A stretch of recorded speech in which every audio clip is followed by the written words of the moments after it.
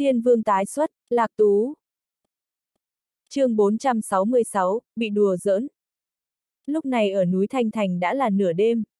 Thanh Mang và lão đạo sĩ đã ở đây hơn 10 tiếng đồng hồ, đã sớm mất hết khí thế. Mà không ít người ở núi Thanh Thành cũng lộ vẻ mệt mỏi và thất vọng vì đã chờ đợi cả một ngày, trên núi vẫn còn rất nhiều người, nhưng phần lớn đều rất bơ phờ.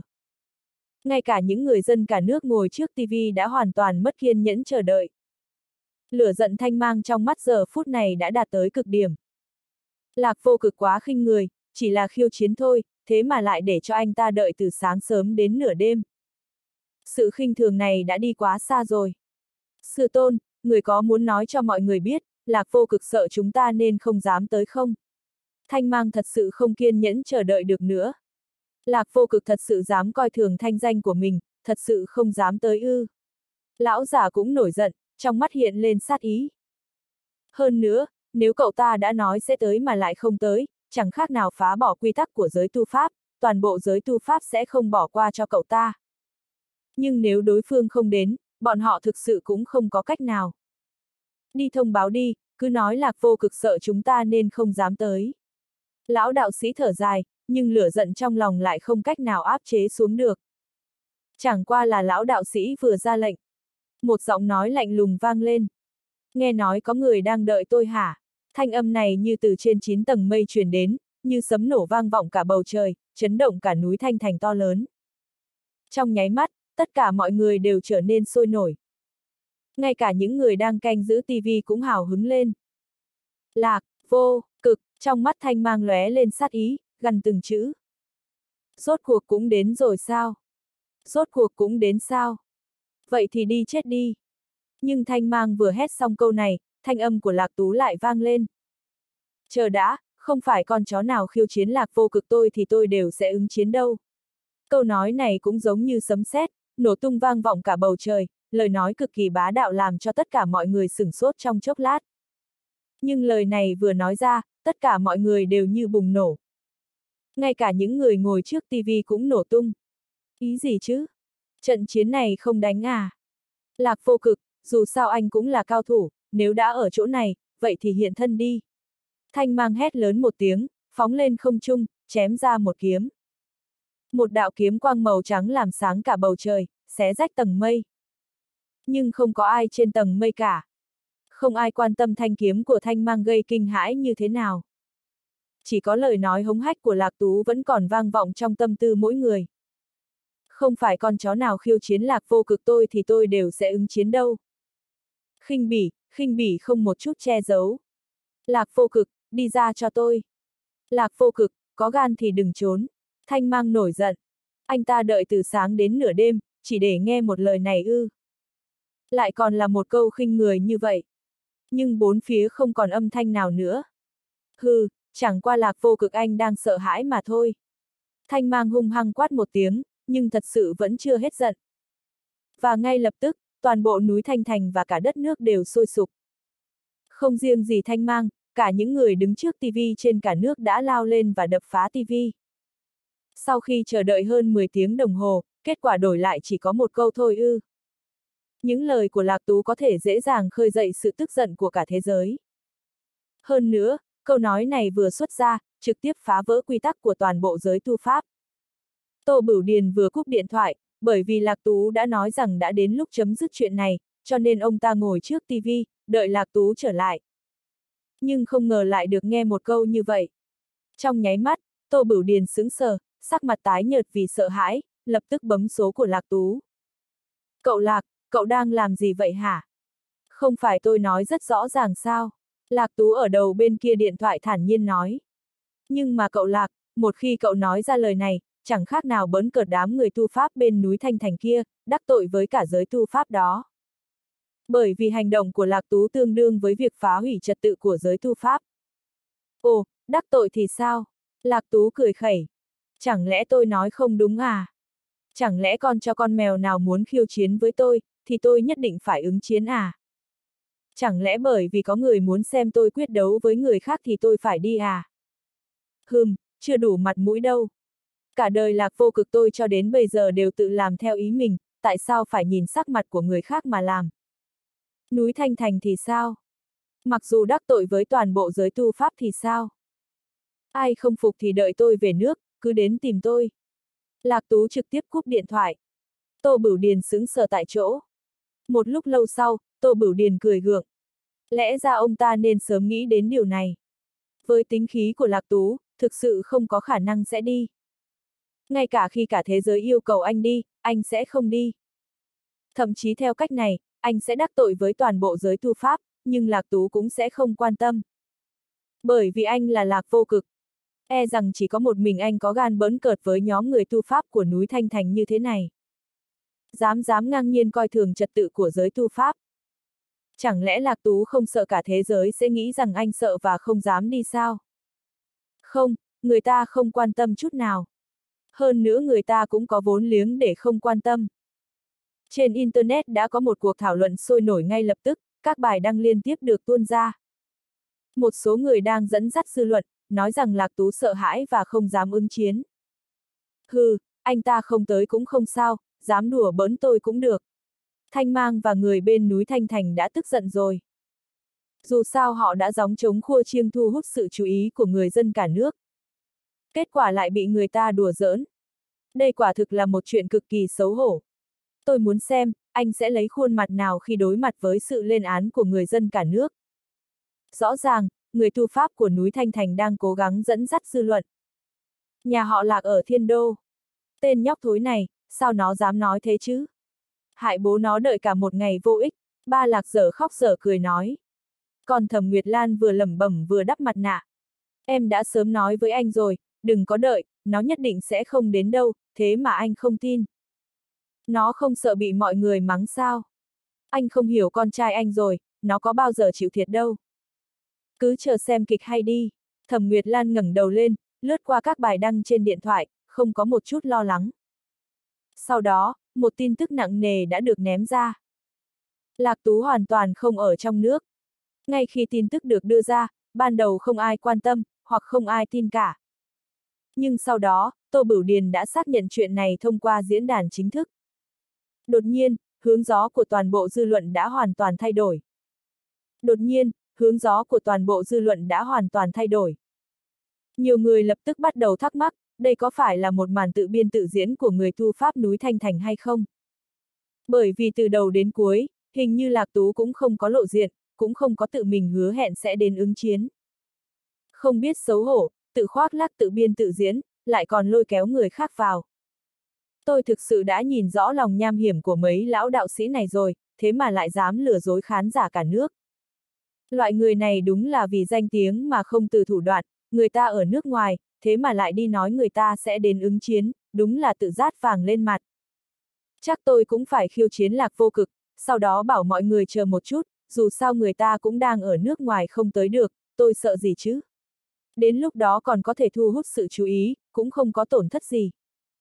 Thậm chí có khả năng là người ta hoàn toàn không biết chuyện này. Cái loại lừa gạt nhân dân cả nước này thật bị ổi vô liêm sỉ, thật là đáng ghét. Dư luận gần như nghiêng về một bên, mọi người đều tin rằng đó là một vở kịch do người tu pháp của núi Thanh Thành tự biên tự diễn để phô trương thanh thế thôi.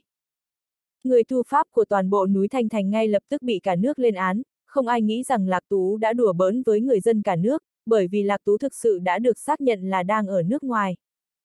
Lạc vô cực, tao sẽ đích thân xuống núi giết mày. Thanh mang nhìn dư luận bùng nổ trên điện thoại, giống lên tận trời. Họ đã chuẩn bị gần cả ngày, muốn sử dụng trận chiến này để tăng danh tiếng của mình, bởi vì bất kể họ thắng hay thua, họ đều có thể phô diễn sức mạnh của người tu Pháp ở núi Thanh Thành trước mặt người dân cả nước. Nhưng không ngờ cuối cùng sẽ thành kết quả như vậy, bị lạc tú đùa bớn, hơn nữa còn khiêu khích nhân dân cả nước, bây giờ còn bị rất nhiều chỉ trích. Sư phụ, con muốn đích thân xuống núi giết nó. chương 467, đơn giản là sức láo. Chúng ta đã quá coi thường cậu ta rồi. Lão đạo sĩ thở dài. Ban đầu, bọn họ muốn lợi dụng Lạc Tú để từng bước phô trương thực lực của toàn bộ giới tu pháp, một khi phô trương giết chết Lạc Tú, lợi ích sẽ khó có thể tưởng tượng được. Ai biết được Lạc Tú lại dám dở trò với bọn họ. Đi đi, sau khi xuống núi, phải làm cho long trời lở đất, vi sư muốn còn phải đem đầu của Lạc vô cực trở về. Lão đạo sĩ cũng bị Lạc Tú chọc tức không nhẹ. Ông ta đã trăm tuổi rồi, hiện tại lại bị một tên nhóc như lạc vô cực trêu chọc, nỗi uất hận không thể nuốt xuống được. Ông ta muốn xem, sau khi đệ tử tâm đắc thanh mang xuống núi, lạc vô cực còn có thể trốn thoát hay không? Đúng rồi, các cậu phải hết sức chú ý về trò chơi kinh dị, không được lơ là. Lão đạo sĩ dặn dò, cánh tay long lân cũng là giành được trong trò chơi kinh dị. Lạc Tú làm ẩm ý như vậy, người thu pháp ở núi Thanh Thành đều bị mắng té tát, dù sao Lạc Tú đang ở nước ngoài, người dân cả nước chỉ có thể chút giận lên đầu họ.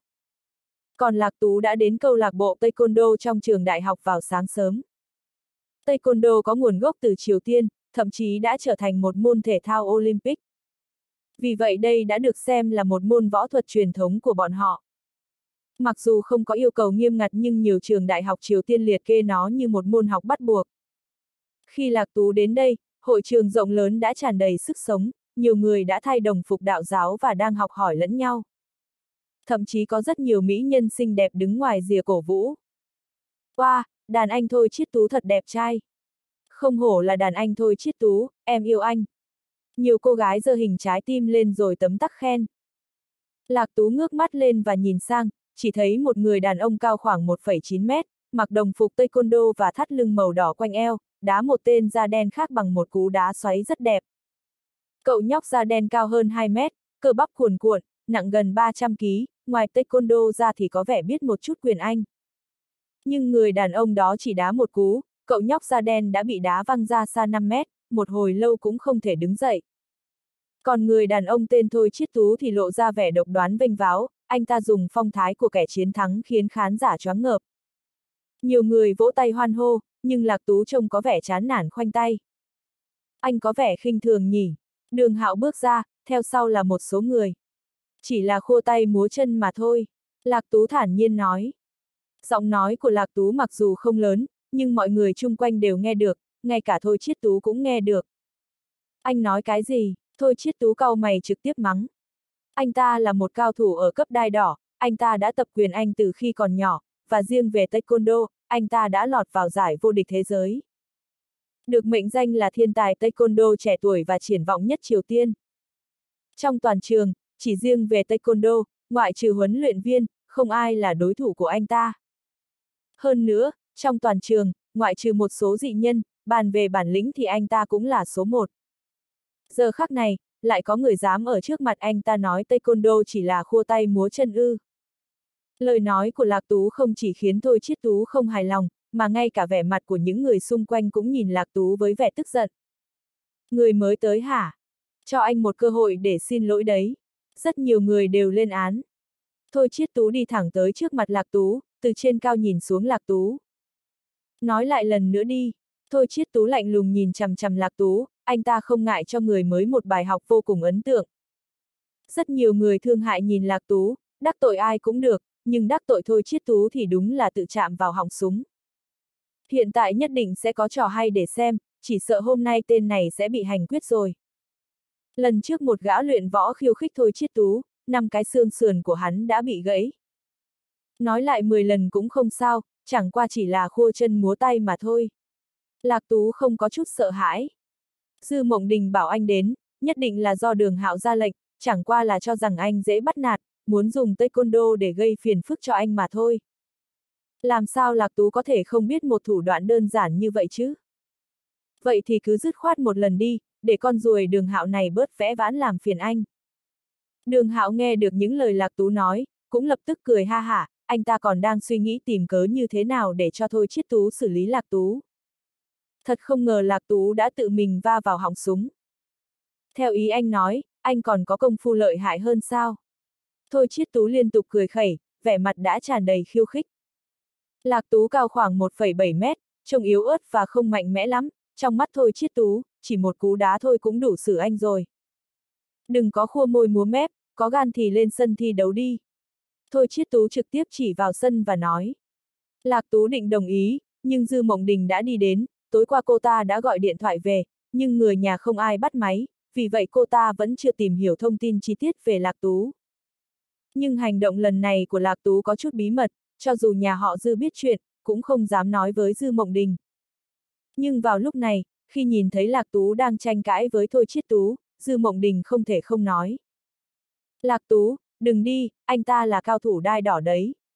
Dư Mộng Đình nhắc nhở, dù sao, tối hôm qua cảnh tượng được xe sang đón đi của Lạc Tú hơi phô trương, trong lòng cô ta đã hơi dối rắm. Nhưng chỉ một chút mà thôi, bởi vì nhiều nhất chỉ chứng minh được Lạc Tú có thể quen biết một ông chủ giàu có nào đó, không có nghĩa là Lạc Tú có bất cứ thứ gì trong người.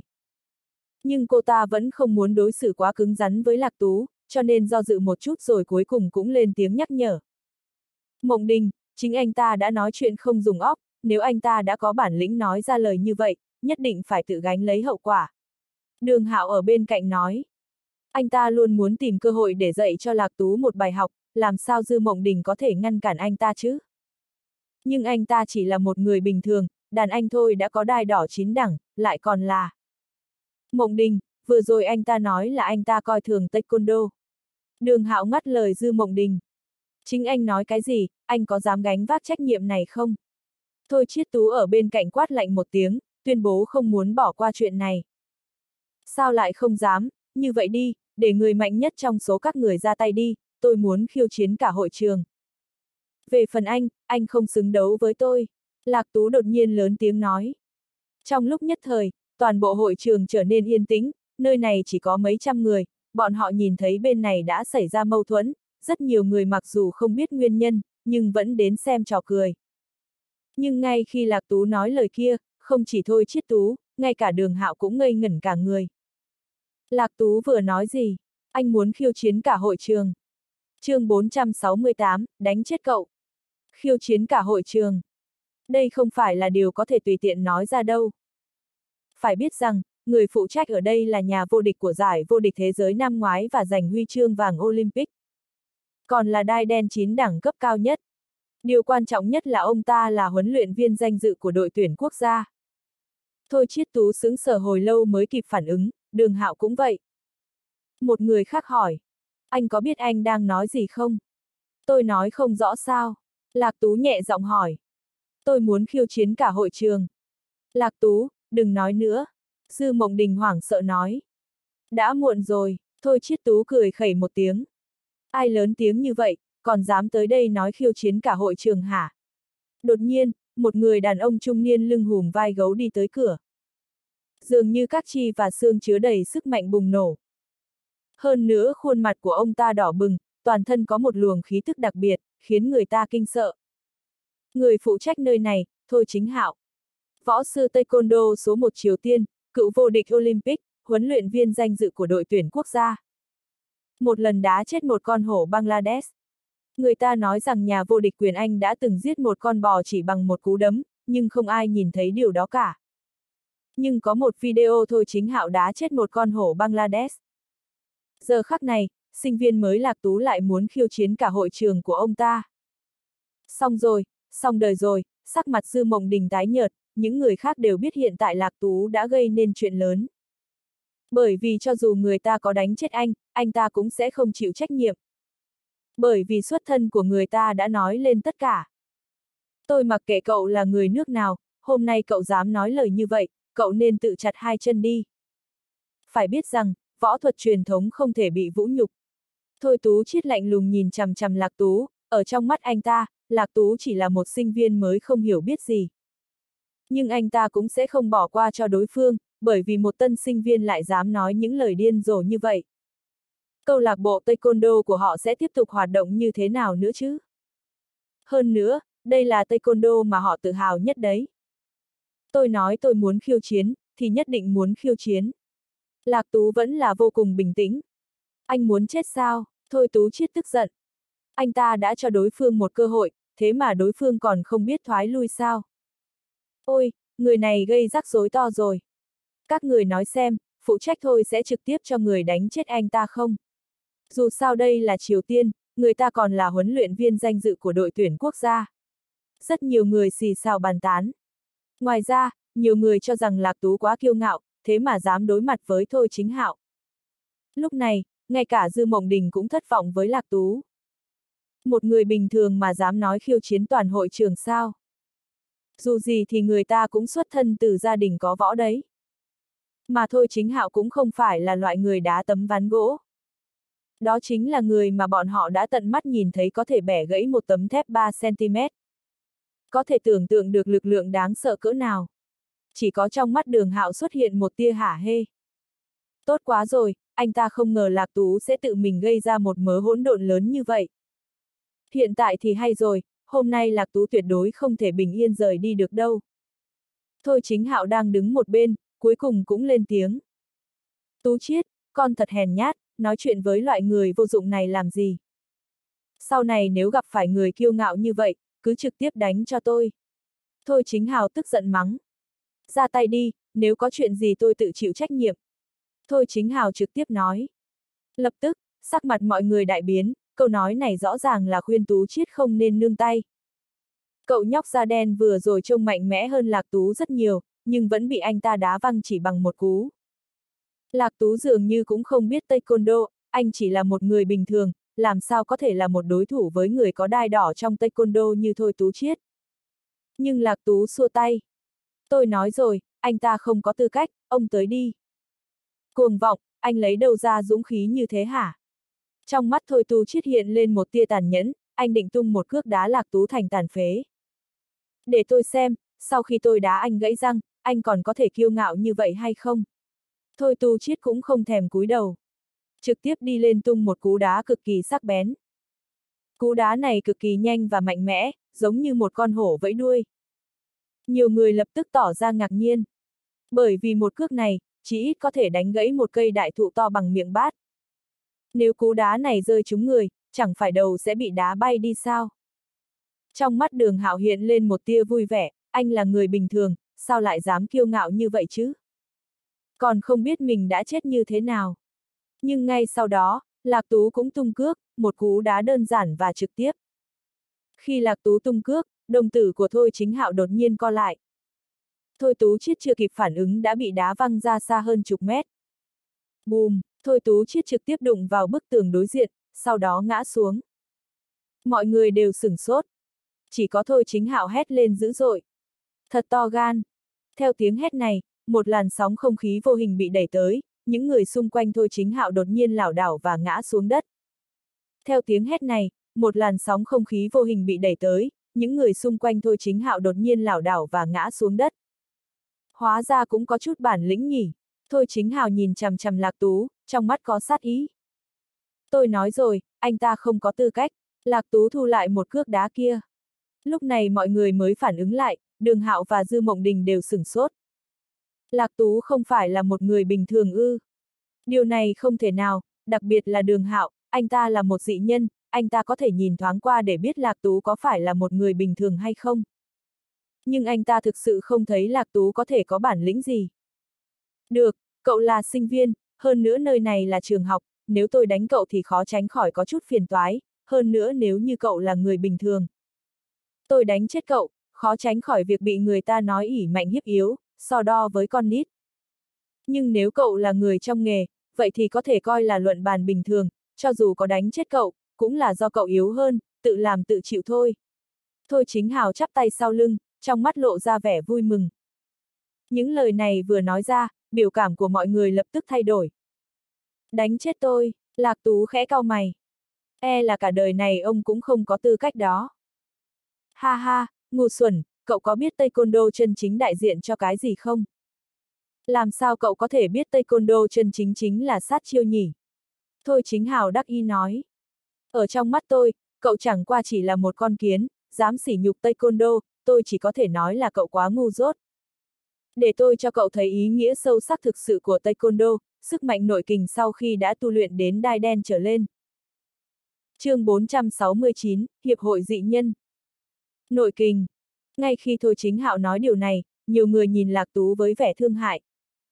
Đặc biệt là đường Hạo, anh ta bày ra vẻ mặt mỉa mai, rồi cố tình khoe khoang. E rằng anh không biết nội kình là cái gì đúng không?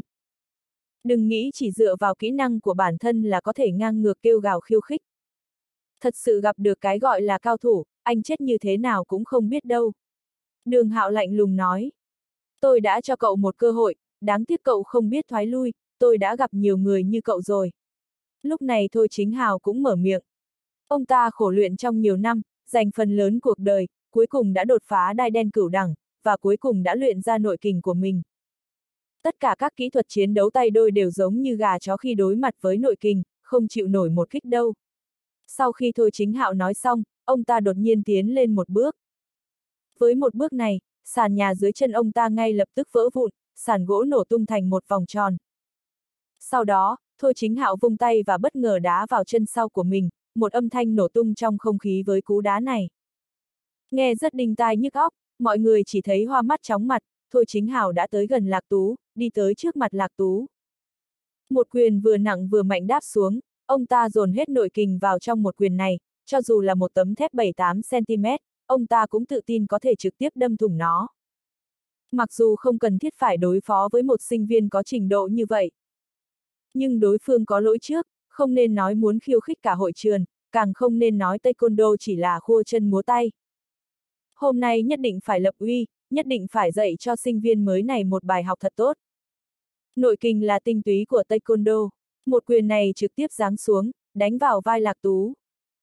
Ông nói thật sao, Lạc Tú không hề trốn tránh, trong mắt hiện lên một tia khinh thường và thất vọng. Nội kinh, người trước mặt này có chắc bản thân đang nói về cái gì không? Nhưng sau đó Lạc Tú đã âm thầm lắc đầu, thật ra những thứ như Taekwondo chỉ mới xuất hiện vào năm 1955, lịch sử của Triều Tiên cũng không dài như vậy. Đương nhiên họ không biết cái gọi là nội kình thực sự chỉ là một điều phổ biến ở Hoa Hạ. Nhìn thấy một quyền mạnh mẽ nặng nề đáp xuống, Lạc Tú đột nhiên không còn tâm trạng để đùa giỡn nữa. Đối phương còn không thể coi là cao thủ nội kình, làm sao dám không biết xấu hổ mà nói mấy câu nội kình với anh. Thế là Lạc Tú hất tay và tát ông ta một cái. Bùm, đột nhiên, một cái tát mạnh vung lên. Trực tiếp hất thôi chính hạo ngã xuống đất. Nội kình, Lạc Tú đứng tại chỗ, trên mặt lộ ra một tia châm chọc, thôi chính hào đã bị đánh ngã xuống đất. Cậu, thôi chính hào từ dưới đất bò dậy, trên nửa khuôn mặt sưng tấy, kinh ngạc nhìn Lạc Tú, ánh mắt hiện lên vẻ cực kỳ khó có thể tin. Đây là... Ông là cũng xứng nói về nội kình ư. Lạc Tú vung tay, lại tát ông ta một cái. Anh thẳng tay tát Thôi Chính Hạo mới đứng dậy đập vào bức tường phía sau ông ta. Trên mặt Thôi Chính Hạo tràn đầy vẻ không thể tin được, ông ta rất quen thuộc với luồng lực lượng trên người Lạc Tú, đây chính là nội kình mà ông ta đã hao tổn cả đời để tu luyện. Nhưng hiển nhiên, cái gọi là nội kình của ông ta quả thực quá yếu ớt trước mặt cỗ lực lượng này. So với cỗ lực lượng của người ta, cỗ lực lượng của ông ta chỉ đơn giản là một trò đùa. Không thể nào, điều này tuyệt đối không thể nào. Tôi là cao thủ đai đen Taekwondo, chỉ khi đột phá Taekwondo đai đen, mới có thể thi triển cái gọi là nội kình thôi. Thần sắc của Thôi Chính Hào vô cùng điên cuồng, trong mắt tràn đầy vẻ không thể tin. Ông ta không tin rằng một sinh viên bình thường thực sự có thể luyện ra nội kình. Chỉ có thể nói kiến thức của ông quá nông cạn thôi. Lạc Tú cười lạnh một tiếng, vung tay tát ông ta một cái nữa, khiến Thôi Chính hảo bay xa bảy tám thước. Một nơi nhỏ bé, ếch ngồi đáy giếng, làm sao biết được 5.000 năm văn hiến chứ? Tôi nói tôi sẽ đập nơi này, khiêu chiến cả hội trường, ông phản đối sao? Bùm, thôi chính hảo bay ngang trời. Tôi đã nói taekwondo chỉ được vẻ bề ngoài, ông không phục à? Ầm, um, thôi chính hảo lại bay đi. Tại Đại học Phủ Sơn, tuyển thủ taekwondo số 1 Triều Tiên, cao thủ đai đen cửu đẳng, đồng thời là cựu vô địch thế giới, thôi chính hạo, trước mặt nhiều sinh viên, ông ta bị đánh đến mức không có sức đánh trả, thậm chí không thể tự vệ. Mọi người kinh ngạc nhìn về phía Lạc Tú. Thật không thể tin được, quá điên rồ rồi. Xét cho cùng, hầu hết những người ở đây đều là những người bình thường, đối với họ, Thôi Chính Hạo gần như là một huyền thoại bất khả chiến bại. Nhưng bây giờ, ở trước mặt Lạc Tú, ông ta giống như một con chó bị đánh. Cựu đệ nhất Taekwondo, cao thủ luôn rêu rao đã luyện ra nội kình, giờ phút này đã bê bết máu toàn thân. Phải biết rằng, để ép thu phí và ép nhiều người tham gia câu lạc bộ Taekwondo, Thôi Chính Hạo sẽ động tay động chân với người khác trên danh nghĩa là đánh luận bàn.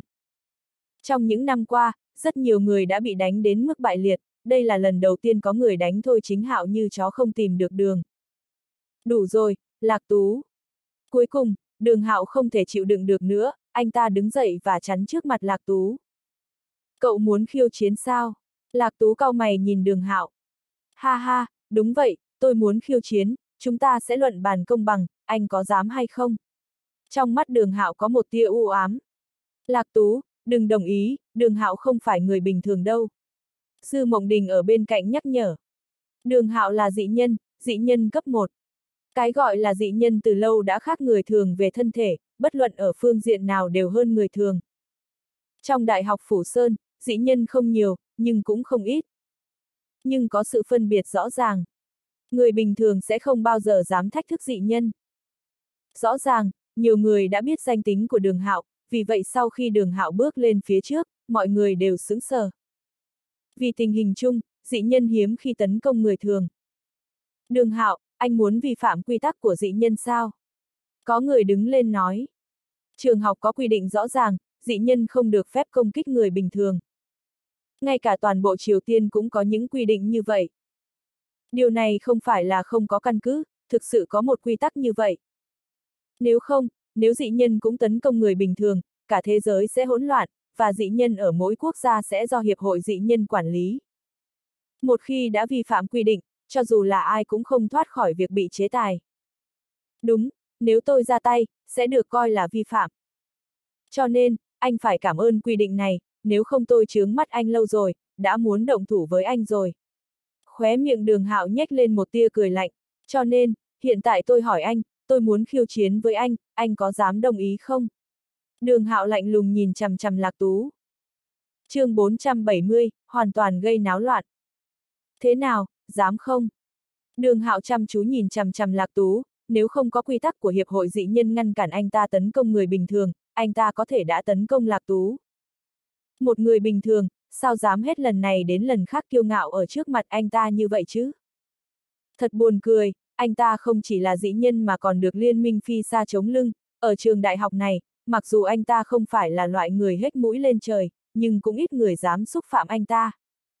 Đường hạo, anh đừng có làm mất thể diện thế chứ. Có người chịu không nổi nữa, đứng dậy mắng. Sinh viên mới này cho dù biết đánh đấm, nhưng cũng vẫn là người bình thường, anh là dị nhân mà bây giờ lại muốn đi khiêu chiến anh ta, đúng là khinh người quá đáng mà. Hừ, khinh người quá đáng thì sao? Đường Hạo cười lạnh nói. Đường Hạo, chúng ta đều là người hoa hạ, anh đừng làm cho người nước khác cười nhạo chúng ta chứ. Một du học sinh hoa hạ cũng khuyên nhủ. Nhưng vẻ mặt nghiêm nghị của đường Hạo, chặn đường của Lạc Tú, mặc dù những người xung quanh đều mở miệng, nhưng đường Hạo đã nói rõ rằng anh ta muốn buộc Lạc Tú chấp nhận lời thách đấu của mình. Anh bạn kia, anh ta là dĩ nhân đấy, anh có quyền không chấp nhận khiêu chiến của anh ta, chỉ cần anh không chấp nhận, anh ta cũng không dám làm gì anh trong trường học đâu. Có người lớn tiếng quát. Anh không nhận cũng không sao, dù sao tôi có rất nhiều cơ hội đến quấy rầy anh. Đường hạo nhìn về phía Lạc Tú, phát hiện Lạc Tú cũng đứng ở nơi đó nhìn mình mà không nói lời nào, cho rằng Lạc Tú đã bị anh ta dọa sợ. Hừ, đúng là đồ nhát gan, không thú vị gì cả. Đường hạo cười lạnh một tiếng, nếu Lạc Tú không dám tiếp nhận khiêu chiến, anh ta thật sự không tiện công kích Lạc Tú, cho nên anh ta dự định rời đi. Anh ta nói, anh ta sẽ không buông tha cho Lạc Tú. Nhưng vào lúc anh ta vừa quay người chuẩn bị rời đi, một giọng nói lạnh lùng vang lên sau lưng đường hạo. Tôi cho cậu đi sao? Ngay khi lời nói của Lạc Tú phát ra, tất cả mọi người đều sững sờ trong giây lát, đường hạo cho hai tay vào túi quần, chậm rãi quay đầu lại, trong mắt hiện lên sự diễu cợt và sát khí ngày càng nồng đậm. Anh ta điên rồi sao? Có người khó hiểu hỏi. Quảng cáo sau một giây, cảm ơn bạn đã ủng hộ. Đường Hạo đã sẵn sàng rời đi, tại sao anh lại gọi anh ta lại chứ? Dư Mộng Đình cũng rất kinh ngạc, tính tình và tính cách của Lạc Tú thật sự khiến người ta không nói nên lời. Đây không phải là tự tìm phiền phức sao? Thế nào, anh có chấp nhận lời thách đấu của tôi không? Nụ cười khẩy trên mặt đường hạo càng rõ hơn. Chấp nhận lời thách đấu của cậu. Lạc Tú lắc đầu, trong mắt Lạc Tú ngay cả người thu pháp của núi Thanh Thành cũng không đủ tư cách, vậy đường hạo thì có tư cách gì chứ? Nể tình đều là người hoa hạ, tôi cho cậu một cơ hội xin lỗi. Lạc Tú nhàn nhạt nói. Uầy uầy, lập tức có một trận náo động vang lên. Người này đang nói cái gì thế? Yêu cầu đường hạo xin lỗi anh ta ư. Anh ta không biết đường hạo là dĩ nhân sao? Anh ta không biết sau lưng đường hạo có liên minh phi xa sao? Rất nhiều người lại lần nữa ngẩn ra. Người ta không bắt anh xin lỗi là tốt rồi, anh lại muốn người ta xin lỗi anh ư. Ha ha ha, bảo tôi xin lỗi anh sao? Đường hạo đột nhiên lộ ra vẻ độc đoán, giống như nghe được câu chuyện cười hài hước nhất trên đời. Anh có biết anh đang nói gì không? Sắc mặt đường hạo đột nhiên trở nên lạnh lùng. Anh là cái thá gì? Một người bình thường lại muốn một dị nhân như tôi xin lỗi anh. Một người bình thường đến từ huyện lỵ, không có quyền lực, không có tiền tài và không có quan hệ, muốn một cậu chủ của nhà họ đường như tôi xin lỗi anh ư. Tôi chỉ cần nói một câu, rất nhiều người sẽ tới giết anh đấy, anh tin không? Đường Hạo cười lạnh nói. Những lời của đường Hạo ngay lập tức khiến mọi người xung quanh im lặng. Sư Mộng Đình nhìn cảnh này, lắc đầu thở dài. Lạc Tú ơi Lạc Tú, sao anh không tự hiểu tranh lệch của mình và đường Hạo chứ? Anh thực sự nghĩ rằng thế giới này công bằng sao? Anh thực sự nghĩ rằng thế giới này có thể nói lý sao? Quá ngây thơ, và quá trẻ con rồi. Đừng nói đường hạo lợi dụng quan hệ, cho dù là bây giờ, một mình anh ta cũng có thể dẫm chết anh, khiến anh không có sức phản kháng đấy. Sư Mộng Đình mở miệng nói. Quảng cáo sau một giây, cảm ơn bạn đã ủng hộ. Nghe thấy không, đường hạo tiếp tục nói một cách vinh váo. Trước mặt dị nhân chúng tôi, chút công phu của anh chỉ là trò đùa thôi. Thế mà anh lại muốn tôi xin lỗi anh. Đường hạo diễu cợt nhìn Lạc Tú. Anh nghĩ anh là cái thá gì? Ngay khi những lời này phát ra, Lạc Tú đã tung trưởng ra. Đường hạo không hổ là dị nhân, phản ứng của anh ta cực kỳ nhanh, nhìn thấy Lạc Tú ra tay trước, không khỏi lộ ra một nụ cười kinh ngạc và vui mừng. Hôm nay chỉ cần Lạc Tú ra tay trước, cho dù giết chết anh, anh ta cũng sẽ không có chuyện gì. Hơn nữa thân là dị nhân, thể lực hay là sức chống đỡ của anh ta từ lâu đã khác người thường, cho dù là Lạc Tú có thể xuất ra rất nhiều công phu như vậy, nhưng cũng không khiến anh ta sợ hãi. Vì vậy, đường hạo giơ tay lên để chặn cái tát của Lạc Tú. Anh ta quyết định dạy cho Lạc Tú một bài học sâu sắc. Bùm! Cánh tay giơ lên của đường hạo va vào tay của Lạc Tú. Hiện tại đường hạo có thể nhấc một chiếc xe tải nhỏ bằng một tay mà không gặp vấn đề gì. Chỉ là một người bình thường, cho dù luyện ra nội kình thì sao chứ? Nhưng khi nhận được một cái tát của Lạc Tú, vẻ mặt của đường hạo đột nhiên thay đổi, một cỗ sức mạnh như rời núi lấp biển nghiền áp anh ta. Bùm! Đường hạo trực tiếp bị đập xuống đất, thậm chí nền nhà cũng bị nứt ra. Nhìn xung quanh một lần nữa, toàn thân đường hạo lúc này bê bết máu, khuôn mặt đã bị biến dạng, sống mũi và cằm chắc hẳn đã bị gãy bởi cú tát vừa rồi. Trên răng có dính chút máu bay khắp nơi, cả người co quắp trên mặt đất. Cậu là cái thá gì? Lạc Tú bình tĩnh hỏi. Chỉ là rác rưởi mà thôi. Lạc Tú bước tới và dẫm lên ngực của đường hạo, đường hạo hét lên như một con lợn bị cắt tiết. Không phải cậu là dị nhân sao? Lạc Tú lạnh lùng nói. Quảng cáo sau một giây, cảm ơn bạn đã ủng hộ. Bây giờ cậu cho tôi xem dị nhân là gì đi. Không phải cậu muốn chỉnh đốn tôi sao? Lạc Tú tăng lực lên bàn chân, đường hạo bị dẫm lên, khóe miệng không ngừng chảy máu. Đường hạo cố chấp nhìn chằm chằm Lạc Tú, anh ta thực sự không thể hiểu tại sao điều này lại xảy ra. Dù sao anh ta cũng là dị nhân cấp 1. Nhưng tại sao ở trước mặt Lạc Tú, anh ta lại không thể đánh trả? Tất cả mọi người xung quanh đều nhìn Lạc Tú với ánh mắt như chết lặng. Sinh viên mới này quá bá đạo và quá kỳ lạ. Cho dù đó là cao thủ Taekwondo, nhà vô địch thế giới hay thậm chí là dị nhân, mọi thứ đều được giải quyết bằng một cái tát. Rốt cuộc lai lịch của sinh viên mới này là gì chứ? Sư Mộng Đình nhìn Lạc Tú và cảm thấy Lạc Tú có điều gì đó không ổn. Đừng quá coi trọng bản thân, trong mắt tôi, cậu còn chẳng bằng hạt bụi. Hôm nay, nể tình cậu là người hoa hạ, nên tôi sẽ cho cậu một cơ hội, nếu còn lần sau, không ai có thể cứu được cậu đâu. Lạc Tú đạp lên mặt đường hạo rồi bỏ đi. Một đám đông sừng sốt há to mồm bị bỏ lại phía sau. Đôi mắt của đường hạo ngày càng trở nên nham hiểm. Mộng đình, bấm số cho anh. Đường hạo khó khăn nói. Đường hạo gọi cho bên liên minh phi xa trước. Sau đó, anh ta gọi cho người nhà ở Hoa Hạ. Alo, ông nội, ông đến Triều Tiên một chuyến đi, cháu trai của ông đã bị đánh. Sư Mộng Đình thở dài một tiếng, nhìn về hướng Lạc Tú rời đi. Bây giờ, mọi thứ đã trở nên náo loạn rồi. Audio điện tử võ tấn bền. Hết tập 39